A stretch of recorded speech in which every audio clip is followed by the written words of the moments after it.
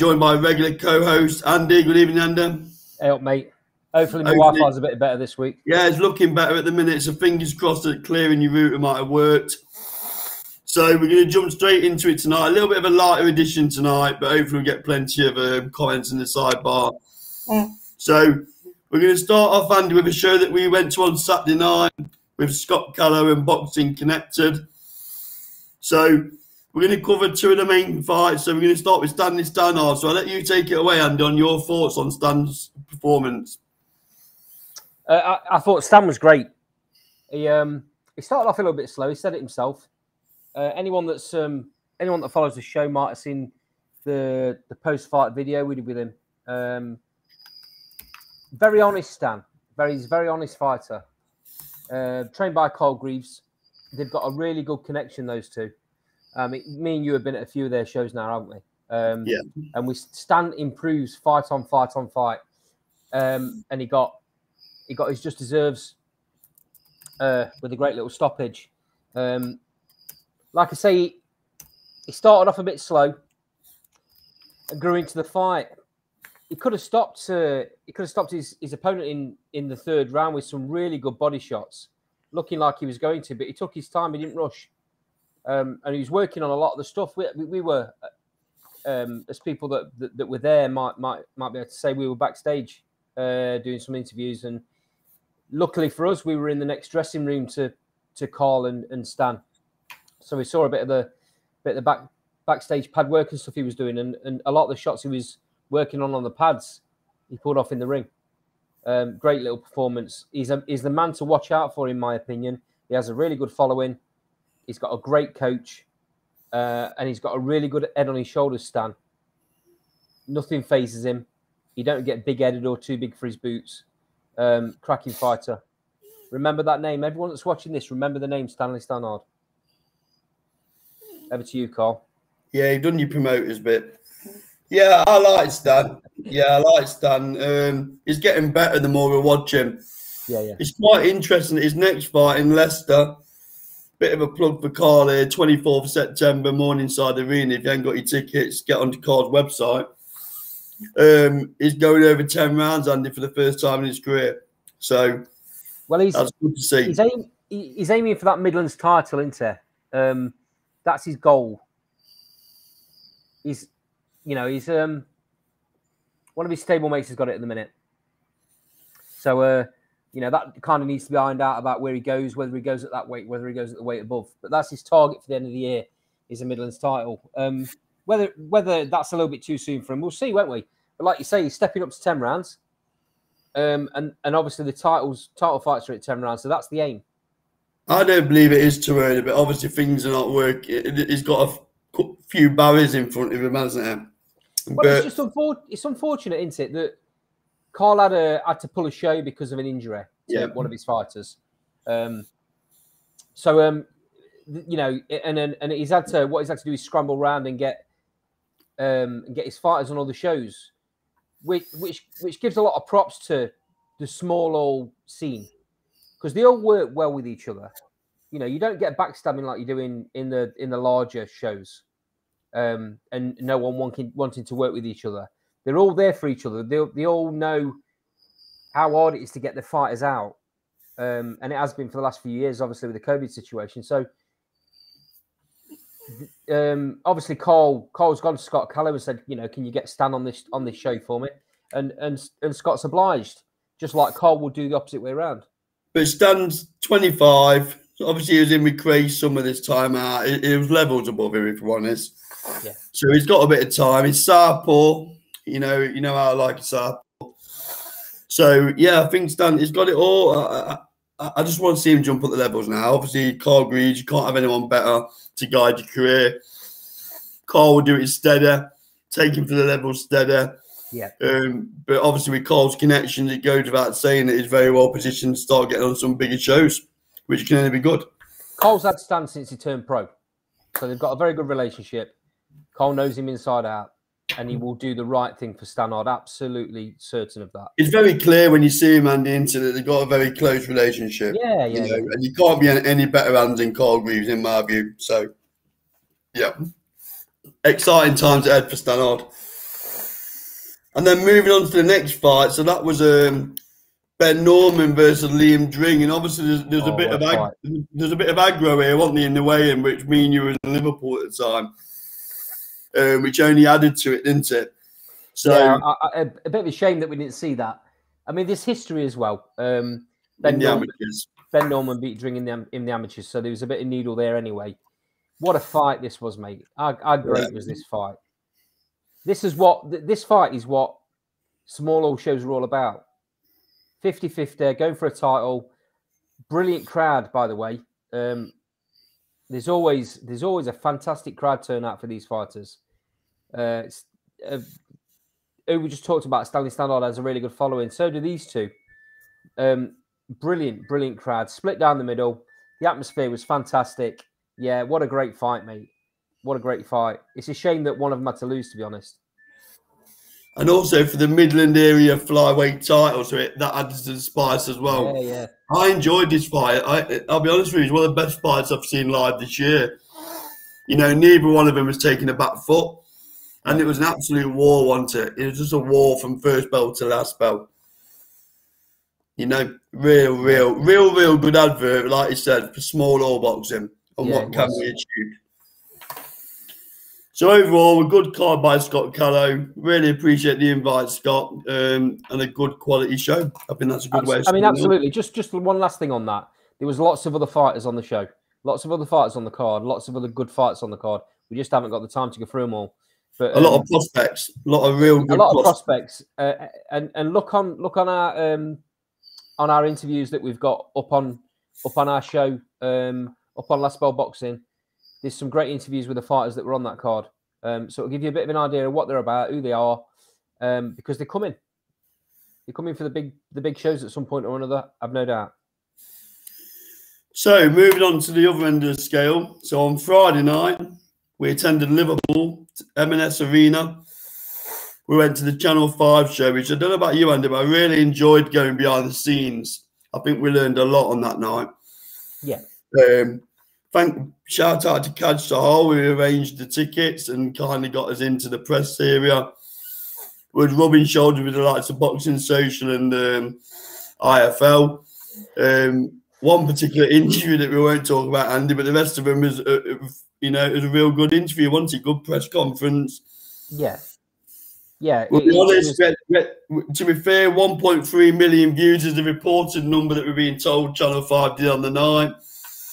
It'll be fair to say we probably expected a few more coming through the turnstiles, would be a fair comment.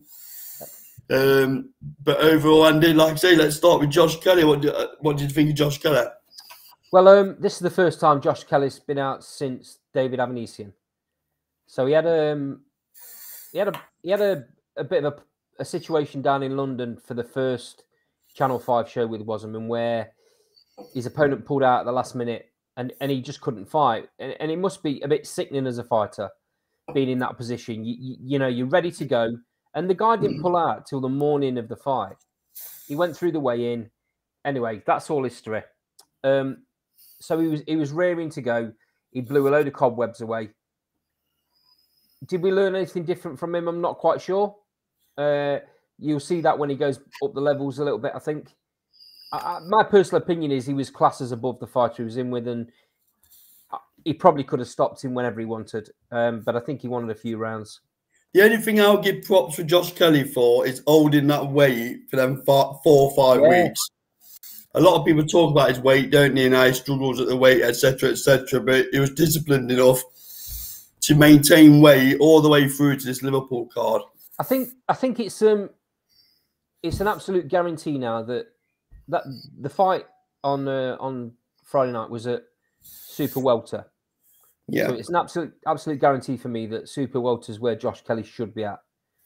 Uh, I think I think he was just too big for welterweight. Um, he looked he looked really healthy. He looked really happy and really strong. Um, and a lot of people don't really get to see Josh Kelly's personal side and his in his his persona. And we saw a little bit of that in the post fight press conference. And he Yeah. come across like a, a really nice fella. So uh, I, I wish him all the best. I, you know, I hope he pushes on. Um, Yeah, I mean, we didn't learn nothing new. He had it all his own way, didn't we? If we're being honest. So it'd be interesting to see who they match him with next. Yeah, I, am not gonna. I'm not gonna jump on him for that though, Cole, because he's been out the ring for quite some time now.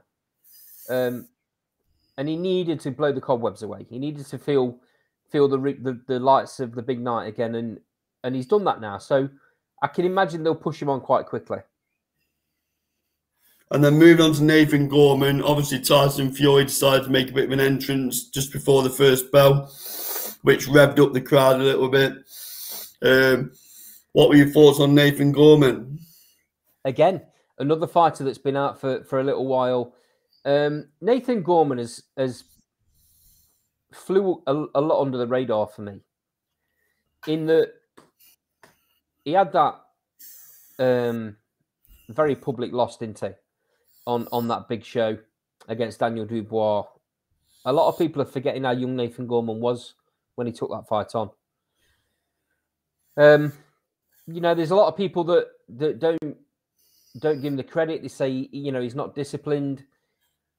What I will say is, what a nice fella Nathan yeah. Gorman is. How humble is he? Um, you learn a lot. Quite interesting. And, and, and I've open.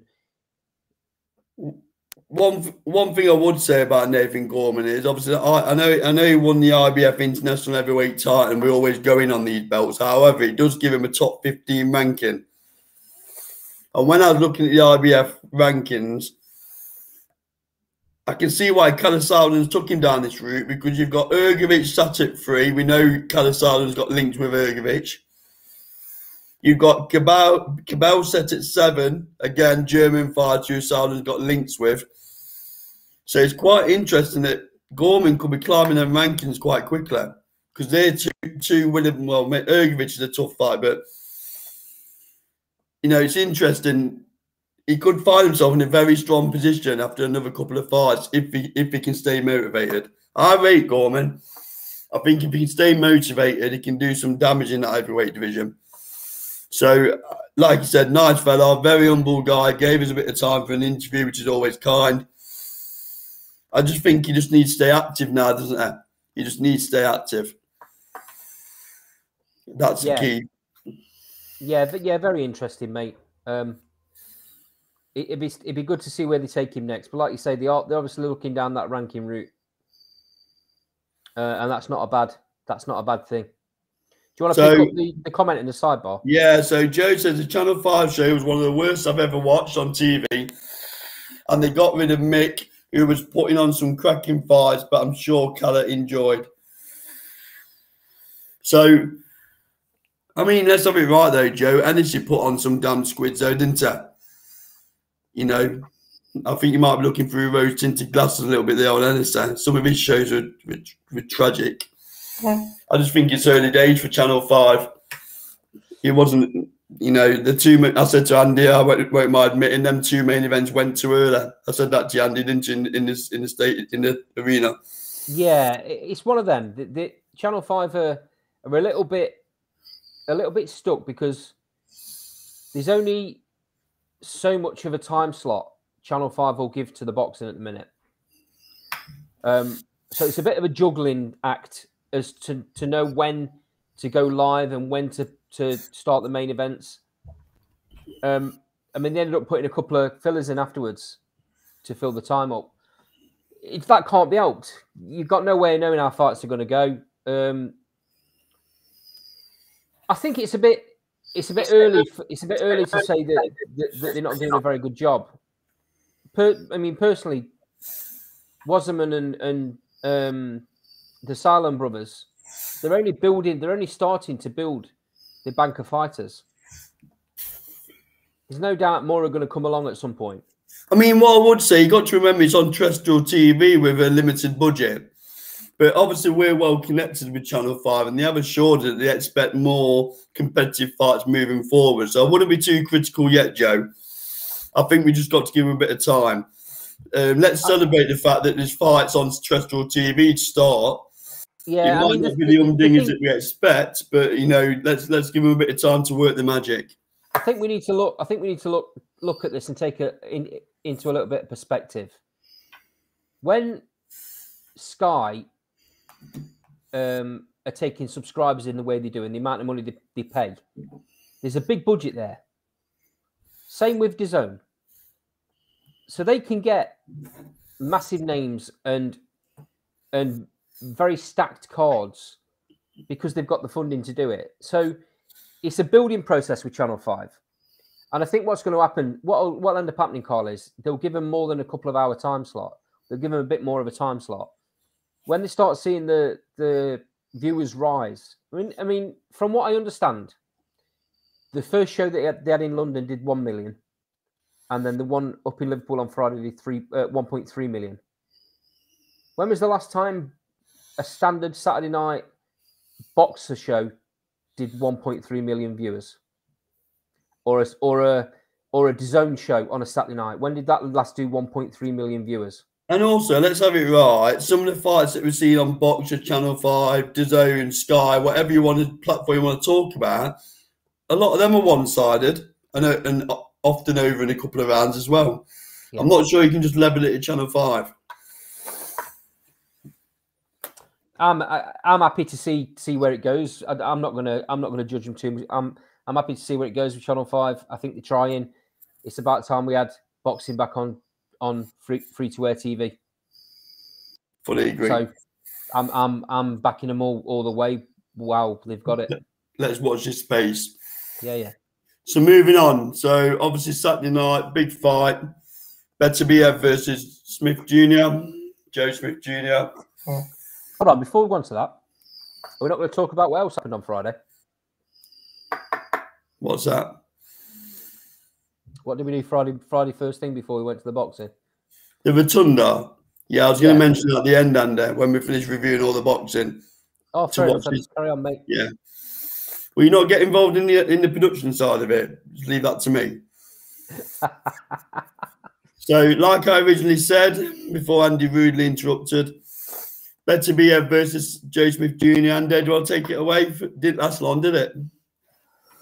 Um, Joe Smith Jr. fought the wrong fight, mate, didn't he? I mean, I know he's I know his own turf, and he was obviously getting wound up, and he was obviously excited by the crowd and all of that. As he took one too many shots in his previous fights, it's almost as bad. As, it's almost as bad as AJ trying to outbox Usyk in that first yeah, fight. Exactly. Who stands toe to toe in front of Biev? Better Biev. Who, who does that? Who does that and comes out, out, out the other end? Nobody. I, I, don't know. I don't know what Joe Smith was thinking. I don't know what his coaching staff are thinking. It was only going one way. As soon as he, as soon as he stood there and started trading, it was only going one way. I'll tell you what, though, these better be a be a fanboys there's a few things that I noticed on on on Saturday night. Yes, if you hit you that right hand, you're going to sleep. However, he overreaches with the right hand. He goes square on after throwing the right hand, and he's slow as with his footwork. So they're talking about Anthony Yarde next. I think he beats Yarde. but then they're talking about Bivol early 2023. I'm telling you, I'm people tweet me and whatever, remind me of this. Bivol will outpoint Beterbiev. He'll outpoint he him. He won't just outpoint him, Carl. He'll score Beterbiev because. But he won't. He won't not Beterbiev out. That's what I'm saying. It'll go. No, no, no, no, He'll school him though. He'll win every, every minute of every round because better Beterbiev's too slow, and he's slowing up the older he's getting. Yes, he's an animal. Yes, he'll stand there and he'll trade and he'll swing all night long if you're going to stand in front of him. But Bivol's not going to stand in front of him. Bivol's going to box and move. He will come inside, but it, but he'll do it smart, just like he did against Canelo. And if he feels like he's not getting anything back, then maybe he'll trade a bit more. But he don't need to because he's Canelo wasn't quick. Canelo wasn't quick enough to lay a glove, so Better Beterbiev's got absolute no chance. And these this nonsense I'm hearing on other channels and people that are tweeting me telling me that Better Beterbiev will not be for that all I can say is have a day off. Well, it's one of them, mate, isn't it? If if Beterbiev connects, then it might be a different fight. If that you don't, you don't know, does that? Well, he's got less chance, I think, than uh, than Bivol has of, of, of schooling him on points?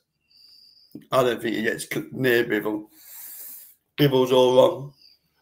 I mean, I'll stick my neck out here. I think Callum Smith beats Beterbiev all day long.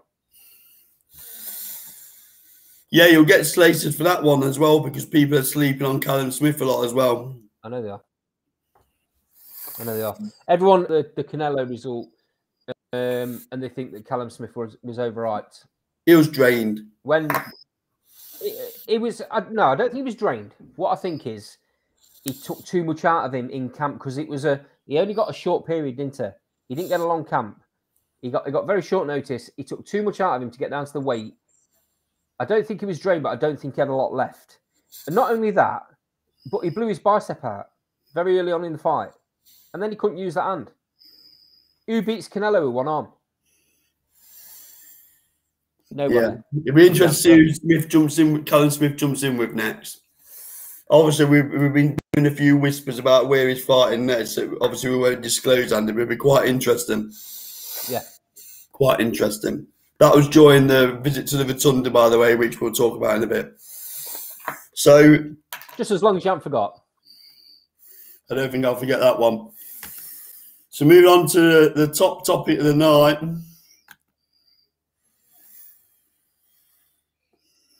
Where it decides to load. AJ to Saudi next to fight Usyk. Now this is where Andy's gonna have a whinge about it being in Saudi Arabia and get his rose tinted glasses on about it must be in Britain. So I'll leave it with you, you Andy. Not that I want to be a parrot, but it must be in Britain.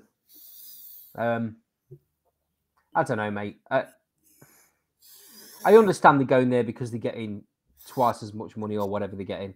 I knew you was gonna have a whinge, so I've got the quote from Eddie Hearn for you. Here we go. Just, this is Like, just- that's going to matter. Go on, carry This, on. this is just for you, Andrew. So Hearn says this isn't golf. He has a responsibility to ensure that they're as financially stable as possible. Oh, because they're both paupers, aren't they? you put underneath, fuck you, and uh, get your rose tinted glasses on. They're both paupers, aren't they? Yeah. AJ They- they- they- this is like this is bread, like putting bread and butter on the table for, for the families, isn't it? This fight. Come on, come on. He says it's this isn't golf. It's exactly the same. They're going for one reason. They're not going because there's better better boxing fans over there. They're not going to try and break into a new market. They're going because there's a boatload of money, a shed load of money on the table. I don't blame him. I don't blame him one bit. Well, the price And also, in you know, this second, the in this second, but in this second fight, Usyk had as much say as AJ anyway. So even if AJ did want to go back to Tottenham, Usyk's camp could say, no, no, no, we're going wherever the most money is. Usyk's woven his rights to want to fight wherever he wants around the world. He's the champion. Um, and fair enough, fair enough, mate. The prize fighters, they, they're going to try and make as much money as possible. I agree with Eddie Hearn to that extent, but it's not a it's not a boxing it's not a boxing country, mate. And there's a lot of fans missing out because I think it's, I think it's poor as a spectacle because what's his purpose-built stadium, which is going to hold what? Not many, is it? the atmosphere's atrocious. Yeah, yeah. I mean, one thing was the atmosphere at Tottenham was electric, wasn't it? And the atmosphere for the Fury fight. Wembley, was As electric. always. as always, because UK fighters know what they're talking about. Even if it went to America, mate, there'd be better atmosphere. I just, um, it, it just, I don't know, it just gripes on me a little bit, mate. This is going to happen more and more and more often, especially when, you, you know, when Are trying to claw back a certain amount of money for a for a massive contract for for a certain fighter, um, and and we got to pay pay per view, which is the the major thing that's pissing me off about this fight. The major thing that's pissing me off about um DAZN signing AJ. This basically they've wanted to bring pay per view. DAZN wanted to bring pay per view into the UK for quite some time now. It's a Eddie Hearn cash tried. Eddie Hearn tried to to to put it on us, didn't a while back, six months ago. what did the boxing public do? They got up, up, up there was uproar about it because not that long back, Eddie Hearn was saying pay per view's dead. That was his uh, that was his promotional quote when when he signed with uh, pay per view's dead. You're going to get. But they're not the only sport doing it, the they? They're all, they're all at it, aren't they? They're all at it. Yeah, I know they are, but but don't say it one one minute and then and then make pay, people pay extra money, although when they're already paying a subscription, and it might only be seven ninety nine, mate. It doesn't matter. Could be could be twenty ninety nine, and you still make it still make the AJ fight. He must, he must have the same PR bloke as you've got. It's frustrating. I'm sorry, it's frustrating. So in the sidebar, Joe says if you go to Saudi, you have to take the flat that comes your way. Completely I don't agree think bothered, you. Completely agree, mate. I don't But think this um, this uh, this this pay per view model is is is it's really getting on my wick, mate, because th- they start off by saying pay per view's dead. You're going to get all the best fighters for one ninety nine and then seven ninety nine. Um, now they're saying because they're paying Anthony Joshua whatever millions of pound over a, a, a multi fight contract or whatever it is he's getting. Um, What about if he gets beat? They've got to claw that back. Hey, What about if he gets? What about if he gets beat? That deal's expensive if he gets beat, isn't it? well, it's a gamble, but the thing is, at the end of the day, they're still going to put AJ in in pay per view fights, whether he gets beat or not. It makes no odds to them. AJ's It's still going to get, and, and- they'll take not- every, every single AJ fight to Saudi. So, it ain't he gonna do the same in make. terms of pay per view buys, though. It ain't gonna do the same, is it, when they start throwing him in with Chisora and all that lot that it would if he was fighting the the, the Usyks and Furies. It isn't going to do the same, mate. But I think it's a gamble. I do. Eddie, Eddie, Eddie Hearn's not bothered me. He don't care. AJ, thing, the problem is AJ's a, the sort of a name that if he was fighting Joe Blogs from from the pub down the road, he'd still make a load of money and he'd still he'd still sell a load of tickets and and a load of pay per view buys. That's the level of name he is. I just what annoys me is it's starting off with AJ. Oh yeah, well it's only going to be Benn next. two pay per views a year. Yeah. So it'll Conor be Conor Benn, Benn next. Then, then who's it going to be after that? The next big name coming along. So before you know it, you'll be paying for six, eight, ten pay per views a year on top of what you're already paying. Yeah. It just it's it's the boxing fan that has to take it every single time, mate. It's not on. So Joe said, I'm expecting it to be around twenty nine ninety nine. I won't be paying for it, and I, suspect loads more won't either. Joe, I've got to admit, if it's around the thirty quid mark, you know that's you know it's expensive, isn't it? I mean, I, I know that he, I, I know that he was already on pay per view on on Sky. Um, so people will say, "Well, you you would have paid for, for the pay per view on Sky." It's it's the fact that DAZN have gone back on the word that annoys me more than anything else. Yeah, when um, put that out about, you know, like I said, the pay per view is dead, and he made a made a big marketing ploy out of it, didn't he, as well, which makes Yeah. it even worse. Yeah, he did, and and, and boxing fans got excited. Oh, fantastic! We're going to see massive fights, and we're only going to pay seven ninety nine a month. Brilliant! That's amazing.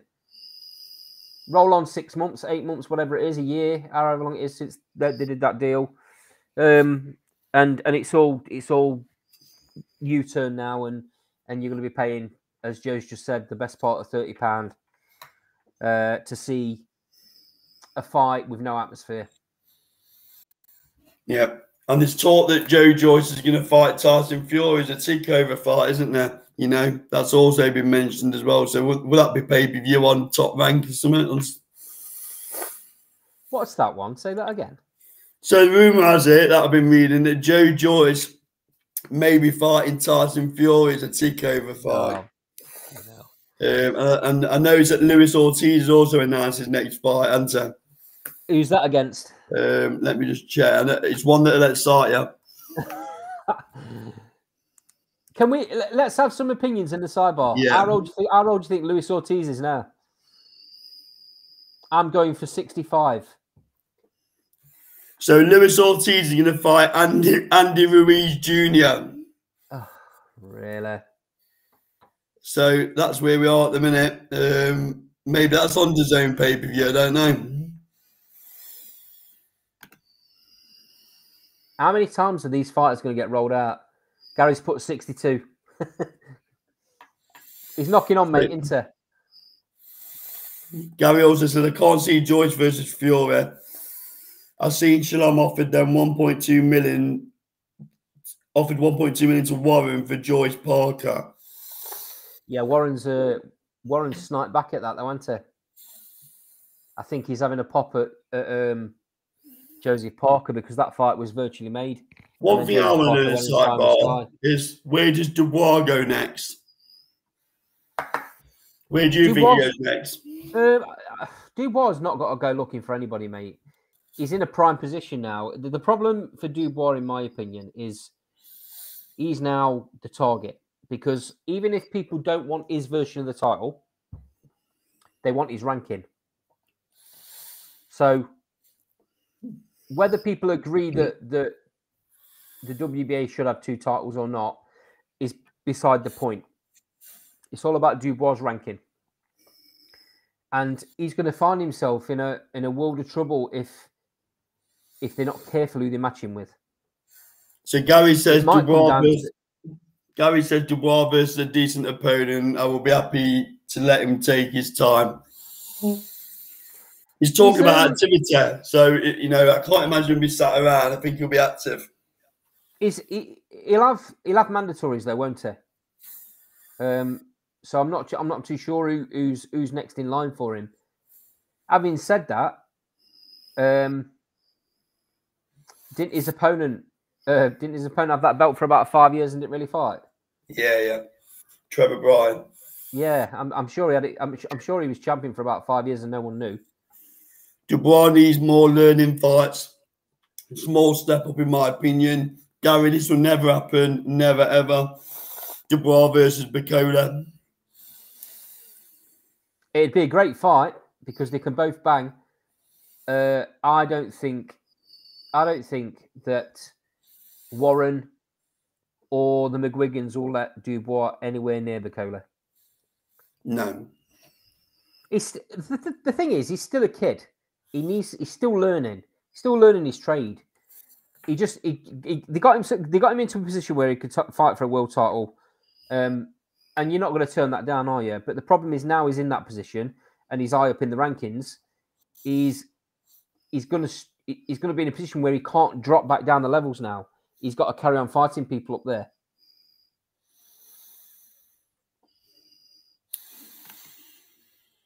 And then So Gary's put, is he the boogeyman? Would you say? Are we talking about Bakole? Uh, you're talking about. Bakole, then yeah, I think he is in the, in the sense that he's been in with all the real top names in sparring, and apparently he's given them all a nightmare. Yeah. Um, so I don't think any of them want to risk themselves against Bakole. He's going to find uh, he's going to find himself really difficult to match, especially after the Yoka win. So just try this one out then with the lads on the side. We're off off to a Lee, an audience with Leigh Wood tomorrow night doing a bit of filming. Do you think Leigh Wood beats Warrington? Do you think Leigh Wood beats Santa Cruz if Santa Cruz ever boils back down to that weight? Because I know we do, Andy. Yep. So it'd be interesting to get your comments on the side. So, from what we understand, uh, there's negotiations going on for Leigh Wood's next fight, um, and there's a bit of a stalling point on on one or two things. That's not come from anyone in particular. That's common knowledge um, across even Twitter. Um, I think it's just a case of him of him just waiting now to see how it all pans out. Uh, the way the WBA are going, they look like they're trying to amalgamate the two belts. There's a lot of a lot of the divisions now only has a super champion. They're going round the houses about doing it, though, aren't they? They, well, that's because they don't want quite clearly, mate. Quite, clearly, the WBA, for whatever reason, don't want to lose Santa Cruz as the super champion. They've let him keep the belt for th- well over three years, as, as I've made public knowledge on this show on more than one occasion. Um, he's had that belt for three years and not defended it. So they're in no rush to, to, to get him to do anything. And the but the but the longer they wait, the harder it's going to be for him to. This is where Hearn should be applying the pressure. I don't know what it is about Eddie Hearn because obviously Dillian Whyte had to wait. Jesus, how long? Yep. Eddie Hearn should be clearing this matter up about this split, you know, and getting this fight made because we was talking about a city ground at one time. Well, that's come and gone, hasn't it? Because if, to get it put on now, the football season will be on. So he's pointing towards him going to America that if I had to put my last pound, which I'm close to, on a bet, I would say Leigh Wood's going to end up going to America and fighting Santa Cruz. You heard it here first. So Gary's put, uh, I believe Leigh Wood can beat them all. Um, Joe's put Santa Cruz not coming back down, um, and he beats Warrington. He's too easy to hit. Uh, I mean, I, am assuming you mean Leigh Wood beats Warrington. Yeah. Um, Gary's put, he showed his last three fights. He can box and can bang. Uh, and he's got a good chin coming from through uh, the Conlan fight. Yep. There's more than one way to become world level, isn't there? Um, a lot of people have got this this fascination with slick back foot fighters, and that's lovely to watch. Don't get me wrong, but that's not the only that's not the only attribute you need to be a world a world level fighter. You need to have chin, you need to have heart, you need to have grit, you need to have determination, you need to have never you need to have a never giving attitude. And Leigh Wood's got all of that. And he can box, by the way, uh, which he just doesn't get the credit for. Uh, Joe's put no chance the Santa Cruz fight happens. PBC won't do business with Hearn. But the problem is, though, Joe, it was sanctioned by the WBA, so they've got to fight. They either agree, they either agreed to the bids, or it, or, or it goes to purse bids. If it goes to purse bids, Eddie might drag him over here if he puts in enough money. It's either that, it's either that, Joe, or he gets stripped. And, and if that happens, then Leigh Wood should be made up to champion. I mean, in my opinion, the Leigh Wood Michael Conlan fight should have been for the Super Championship. Um, but it, like I say, the WBA, for whatever reason, they absolutely love Santa Cruz. Uh, Matt Nash, uh, Wood needs a big, big fight now. Um, has to capitalise on the Conlan win. Well, Matt, um, I believe you're going to the evening with Leigh Wood tomorrow night, mate. So you can ask that's him that big, question. That's a big word for Matt, isn't it? Capitalise. Well done, Matt. Matt, um, Someone's had the Oxford Dictionary yeah. Seeing as though Cole's trying to put it on you, mate, I think he owes you a beer tomorrow night. I'll make sure he gets you one. Um, but yeah, I mean that, that's a great question to be asking Leigh Wood. So uh, I hope I hope you're going to put that on him, mate. Matt won't ask him that. You're joking, aren't you? And the last thing I wanted to touch on was Josh Josh Taylor. So Josh Taylor's come out the last couple of days and said he's going to stay at 140 and, and give Jack Catterall the rematch. Do you think it happens, Andy, or do you think it's a load of bull? Um, I think I, I think Josh Taylor's been forced into taking the fight. If I'm being completely honest, the annoying thing for me though is it's happened too late because now it's not for undisputed. So Jack Catterall, if he comes away with a win, he's not going to be undisputed champion. It's not fair. That's it's right. There's a lot going on on Twitter. I'm a, I'm a Josh Taylor fan, uh, and even after even after the result, you can't blame Josh Taylor for no. for the way the the judges saw the fight. No. What what what does stick in me throat a little bit is the fact that uh, for quite some time after the fight, he wasn't having none of it. He was saying he was moving up. He was saying he couldn't make the weight no more. All of a sudden, now he can make the weight again. So I don't know. Um, I hope to see the fight again because it was a good fight. Uh, I think Taylor has a little bit to prove if he does if he does take the fight. Gary, yes, I watched the documentary this afternoon. it's a good watch for anyone who's not watched Josh Taylor's documentary. He knew he lost that fight. Gary didn't he? You could tell his body language in the documentary after the fight. I think he's got to give him the rematch because his legacy is going to be tainted by this fight if he doesn't do so, if he doesn't right that wrong in his eyes. So I think, you know, he's going to have to jump in. The more I watch that fight, the more you can see that Warren, it wasn't even close in my eyes. Catterall beat him. So. So, so Taylor's put, uh, Taylor's put, Joe's put, Taylor probably on the no-fly list to America as no options. Do you want to um, do you want to do you want to give that a little bit more of a wide uh, description, mate? I don't quite know what you mean there. He must be he must be talking about a connection with MTK Global, I would imagine. Well, no other fighters seem to have the problem. It's only it only seems to be trainers and and promoters that that that seem to be getting the grief. Um, I don't I don't see how I don't see how that that affects the fighters, mate. Uh, boxing chit chat. One of the biggest robberies I've ever seen. Absolutely agree, mate. Um, again, though, that's nothing against Josh Taylor. You know, he, he's at the end of the day, he's a fighter. He was in there doing his doing his business. It's down to the the referees and the judges to make the right decision, and they didn't. They let Jack Catterall down.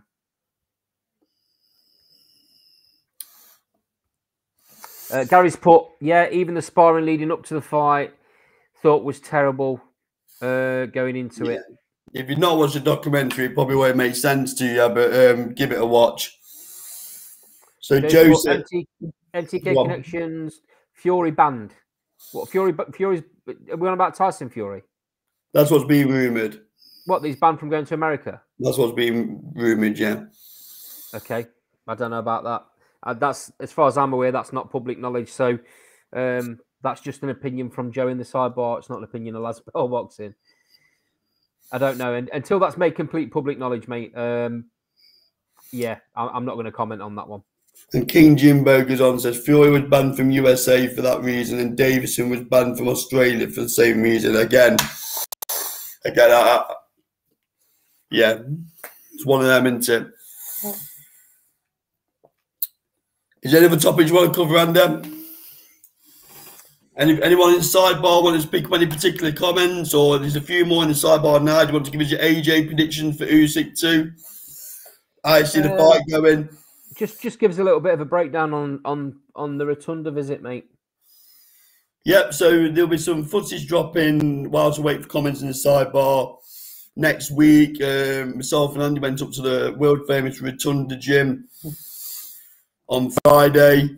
We was uh, invited by Paul Smith Jr. Um, got some great footage. Met Molly McCann and a few others. So just keep an eye out for that footage. Um, if you haven't subscribed to the channel, give us a, give us a subscription on YouTube. Hit the like, comment, and hit the notification bell. And I'll pick up a few comments. So King Jimbo wants to talk about Canelo versus Triple G three. Um, quite a big topic that one. So if you want to join us on camera, we'll we'll break it down with you. Yeah, jump on, jump on, Jimbo. Uh, Matt Nash says the biggest crime was the lack of action after the first fight. Downgrading of one of one judge was not enough. Carl, put the link back in the sidebar so, so Jimbo can jump on if he wants to. And that goes for anyone else in the sidebar if fancy jumping on for five minutes. Cedric, evening, mate. Uh, he's uh, Cedric's put Usyk wins unanimous again. Uh, I'm with you, Cedric. Um, Gary Gary says Usyk will adjust to anything Joshua brings and either and either win or get the stoppage. I think AJ's got a window. I think he's got a window of four rounds where that's his only opportunity to absolutely jump on Usyk and put it on him. I'm still not sure that's good enough, but that's his only chance he's got. He's got a window of four of, of, of four rounds for me. You've uh, changed your tune a little bit, haven't you? Well, I don't think he's ever had gas in the tank, has he? I, st- I still think it, no, I'm not changing my tunes. I still think he'll knock him out. I just think a window, a four round window to do it. I completely agree that um, if he hasn't got him out there within within four like four or five rounds, he's in a world of trouble. In fact, I'll go as far as to say that if AJ fights the way we expect him to, i.e., a very aggressive, come forward fight, if he is if he hasn't took Usyk out within them four rounds, Usyk stops him because AJ will be done. So Joe says Usyk will need to stop Joshua to get the verdict. I honestly believe Usyk get, gets robbed on the cards. I'm imagining.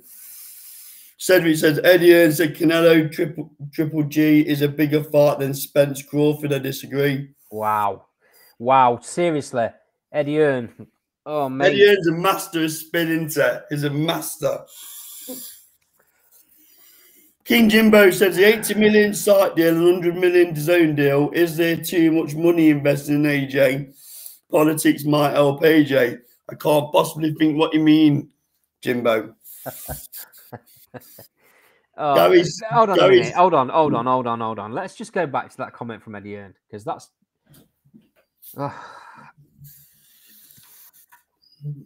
that's absolutely ridiculous from the and I'll say it the the best promoter in the world. Yeah, that's an absolutely ridiculous comment from Eddie Hearn. Ridiculous. Everybody knows Triple G is well past his best. Look at the state of him in that last fight.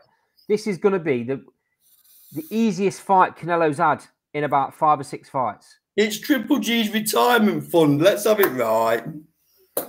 That's what it is. This fight should not be happening. That's how good this fight is. It shouldn't be happening. It's too way, way, way too one sided. Eddie Hearn can spin it as much as he wants. Everybody in boxing can see that. So Gary uh, says the only thing that worries me is how Usyk's prep's been. Yeah. Without yeah. being at home and having problems at the same sparring, uh, having problems at the same sparring, blah blah blah. Come on, come on. He's, he's got a lot of money. Let's not start giving him ready-made excuses if AJ does beat him. King Jimbo, hopefully Robert Garcia can help combine AJ's British Olympic style with the Mexican pressure tactics. That will be a deadly combination. Time will tell. But obviously Garcia likes the, the aggressive style of boxing, so them first few rounds are going to be absolutely electric. There's no two ways about it. That's the reason AJ's gone to him, um, because he's got to adopt that tactic. Tactic. He, he he, he can't. I mean, I'm with. Um, I don't know who was said it earlier on. Uh, someone in the sidebar said it earlier on that uh, Usyk will work out AJ's tactics uh, and, and and adopt his fight to suit, and I think he will because I think he's that smart as a fighter.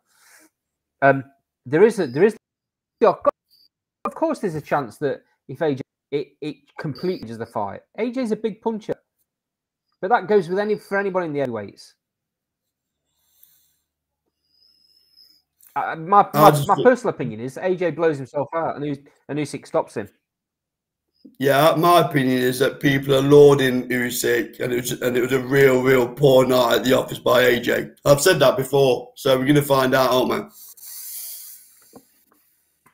So, I like I said, he's got four rounds in my eyes. I wouldn't even give him six.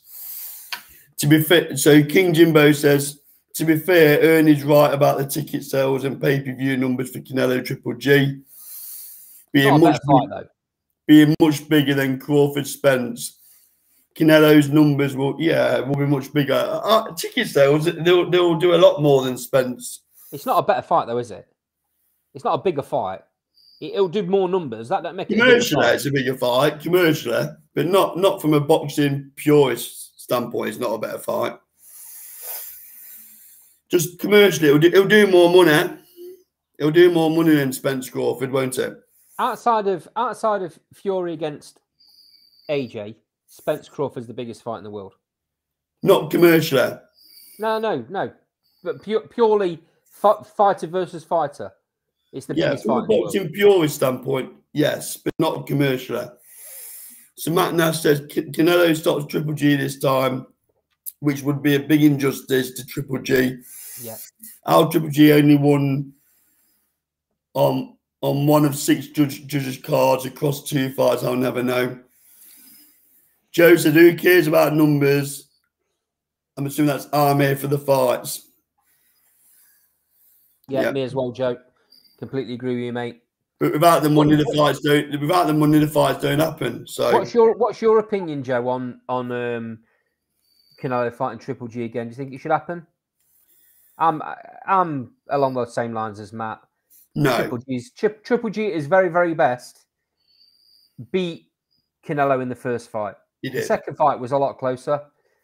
Um, but Triple G's way way way. I mean, how long how long ago was that first fight? Can Can anyone tell me how long ago it was? Knows? Five years. I, I think it might be longer than that. So just while, while we wait for that, Cedric says, did, Josh, did Joshua ever give a reason for leaving his original coach?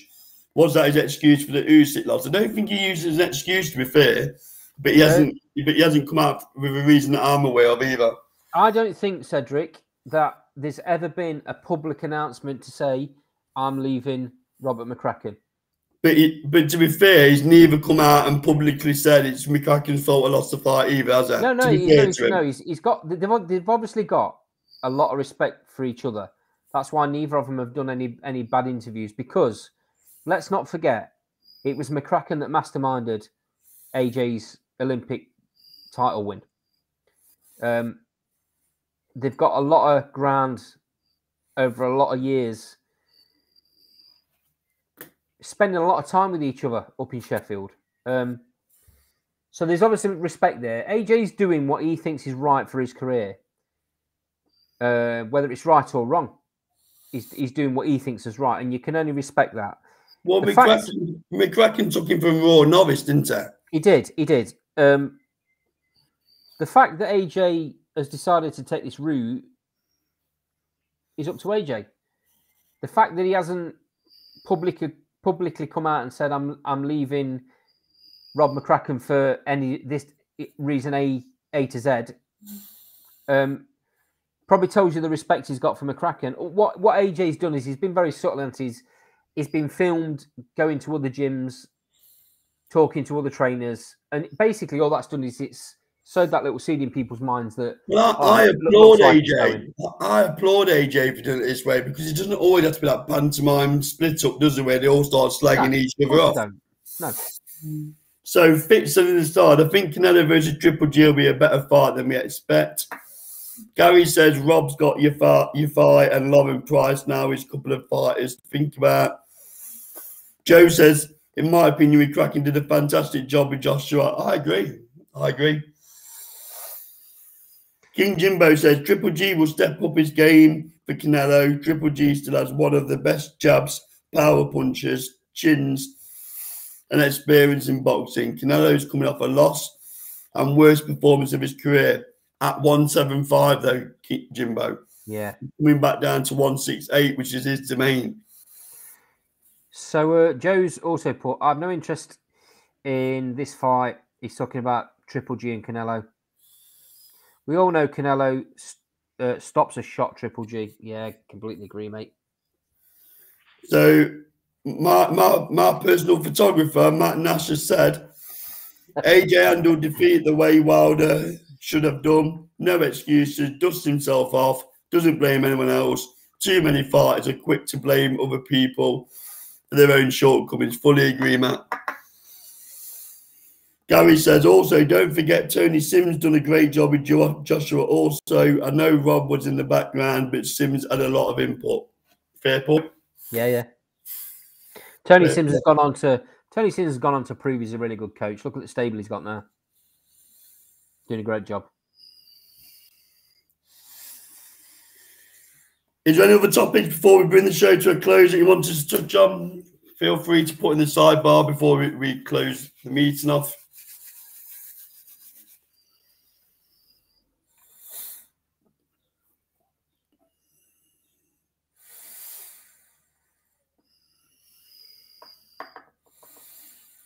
Think that might be about it. And um, Yep, I think so, mate. Uh, those of you that are that are going down to uh, the evening with Leigh Wood tomorrow night, um, come and say hello. We'll have a chat. Those of you that aren't going, why are you not going? if you're from Nottingham or you're from the East Midlands and you're fairly close by, it's only twenty pound a ticket. Andy, you've got to pick that one up. Should AJ have gone with Adam Booth instead of Garcia? no, I don't think I will. and Gary says, um, Beterbiev versus Yarde." Interesting fight, that one. I think Beterbiev beats him. I think he'll stop him mid to late round. That's my view. Uh, anyway, back to that's that's sidetracked me a little bit. Back to um back to what I was saying about Leigh Wood. Um, well, what about Beterbiev versus Yarde that's mentioned inside? Uh, what about Beterbiev versus Yarde? Uh, Beterbiev's too big a puncher for Anthony Yarde, I'm afraid. Even though, in my opinion, Beterbiev's um, over the hill. I think he's on the slide. He's very slow as a fighter. The, the, the type of fighter that beats Better Beterbiev is a fighter that uses movement, ring craft, um, and uses a bit of a boxing brain. Have you ever thought, Andy, that King Jimbo could actually be Adam Booth? move? Could be. so King Jimbo stroke Adam Booth goes on to say, Wood and Warrington unification is a big fight in the UK. It's a unification and stadium fight. I agree, but I'd want it in Nottingham and not in Leeds. And I think Leigh Wood knocks him out. I think Leigh Wood's the fresher of the two fighters. I, I, was about to say that. I think Lee's the fresher of the two fighters. Uh, yeah. Yeah, Warrington's been in some serious wars, hasn't he? And, and there's signs of him slowing up in there. Yeah, I'd say so. So Gary says Bivol. So I'm assuming by that that you think Bivol beats Beterbiev and I do. Yeah, yeah totally agree, Gary. That, that's what I was saying about the movement and the ring craft. Um, Beterbiev, although he has that massive shot, he's slow. That's all he's got. He's slow. He, uh, and he needs somebody to stand in front of him for him to for him to take advantage of, the, of that uh, attribute that he's got. And Bivol's too smart for that. So just why, just, just why, just before you come onto your little sales pitch for tomorrow night, and uh, hmm. we're due to do an interview with tomorrow at the audience with.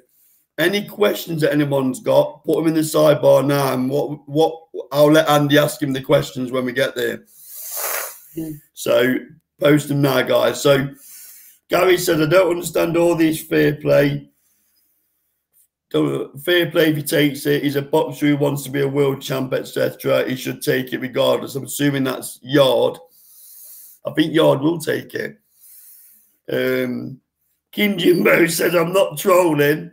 Why didn't AJ ever look at me? Andy, take it away. Okay, so I'm not slating Adam Booth. It, it, just there was a little funny incident with Adam with Adam Booth at uh, the Channel Five show. Um, Moving on. Yeah, yeah. So uh, that's why he, that's why he said that, Jimbo. Um, why didn't AJ go to Adam Booth? Because it Adam Booth's style would not suit AJ. Uh, AJ's not a slick fighter. Adam Booth's Adam Booth's style is is is to be slick, uh, counter punch. That's not AJ. Um, if he tried to if he tried to employ AJ into that style, AJ would get knocked out um, by a number of fighters. Um, AJ needs to have an aggressive coach. He needs to go back to his raw. The days when he first turned pro, before in and around the Dillian Whyte fight, that kind of AJ. Um, if it's the AJ there. that wasn't scared to take a shot, the AJ that wasn't worried about what was coming back. Because in my opinion, since Klitschko, AJ's been afraid of what's coming back at him, and that's why he's not the aggressive fighter. I don't think he's a scared fighter, but but he's thinking twice before he's going in and being aggressive himself. He's thinking twice about what's coming back the opposite way. I really wish you'd give an edited answer. King Jimbo says, after Canelo's loss to Bivol, is it fair to say he was a bit overrated? I'll go before you give us War and Peace, Andy. Let me. I'll go first. So what I would say is I've been saying for a while, Canelo's ceiling is 175. He was never good enough to compete at 175 amongst the elite at that weight. So no, I wouldn't say he's overrated, but he doesn't belong at 175. So sooner like he has, go back down to 168. And I think he'll continue to dominate at that weight. Go on, Andy. I'll, I'll, get me travel pillar ready. Go on, Andy. You can't you can't say he's overrated, mate. He's he's dominated. He's beat he's beat undisputed champions. He's beat everybody that's been put in front of him, bar two fighters. One of them, he was really young, um, and wasn't ready for the fight, and uh, another one was just way, way, way too good. There's that there's that famous saying, isn't there? A good big and beats a good little, and then that's all that happened in that fight. There you go. Was that was that quick enough for you? So yeah, not bad. We still work on it. So Joe Joe's got your first question for the night. Look, would Leigh Wood leave Hearn to get a big fight? So I've made a note of it, and when we interview him, I'll leave it with you, Andy. Okay. So so I've made a note of that, Joe. So have a look on the channel next week, and Andy would have asked Leigh Wood about that question. Any other questions while we're at it? Any other questions for Andy to be asking? Hold on a minute. Why is this Andy to be asking? Looks like I'm getting set up here. No, you're not getting set up. Just uh, after your um, performance of Adam Booth, you're the fire starter.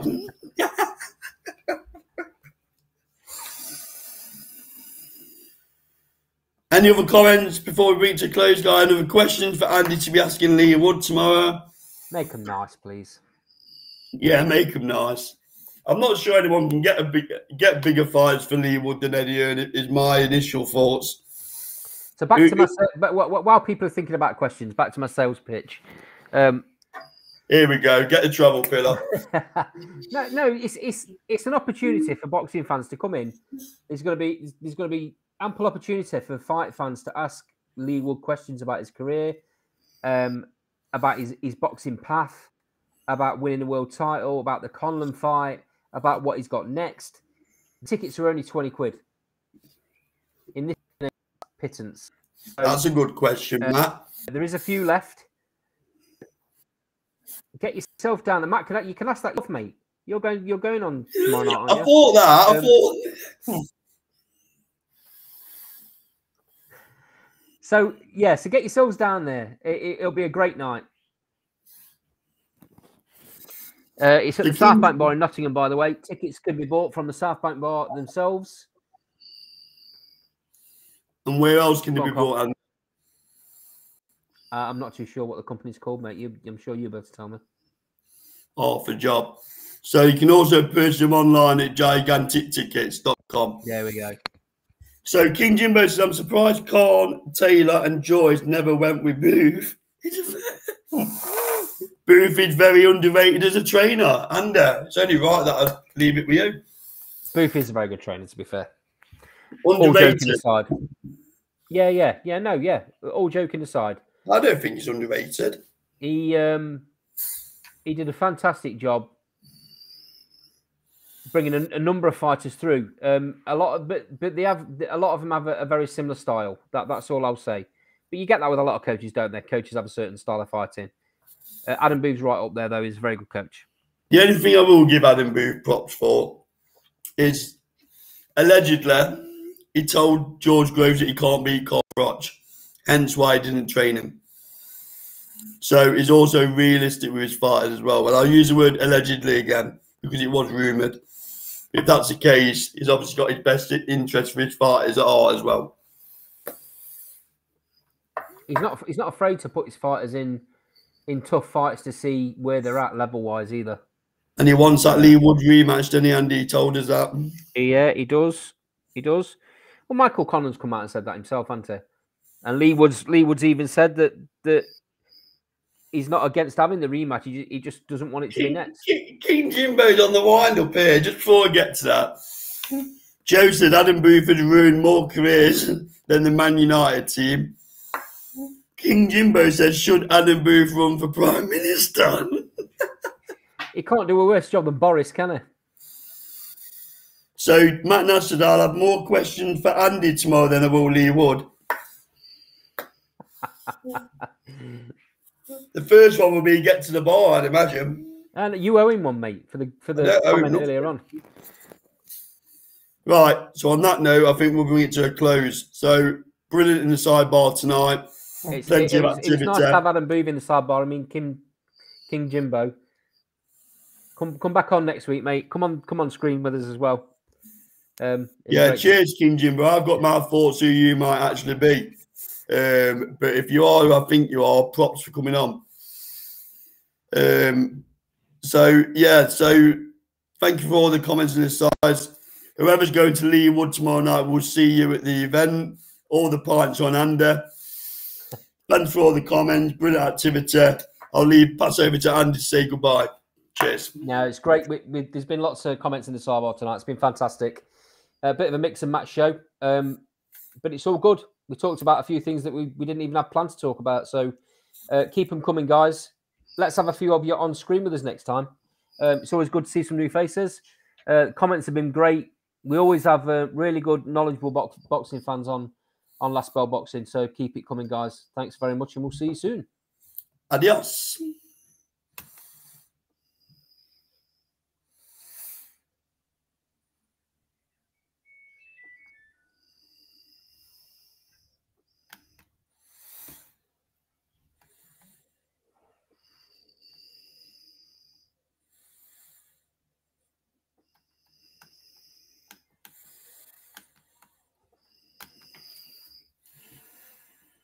The edit is I've needed, but it's not letting me end the stream. I can see that.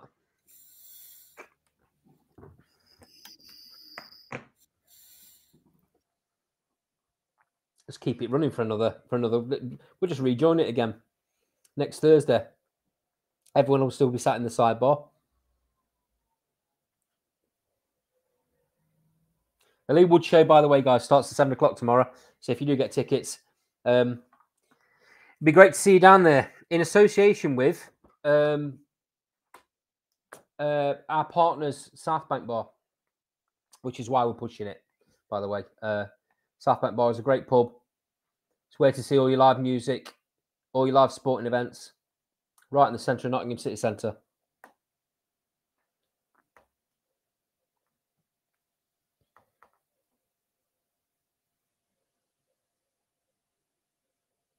Notice how Cole's jumped off screen and left me to it.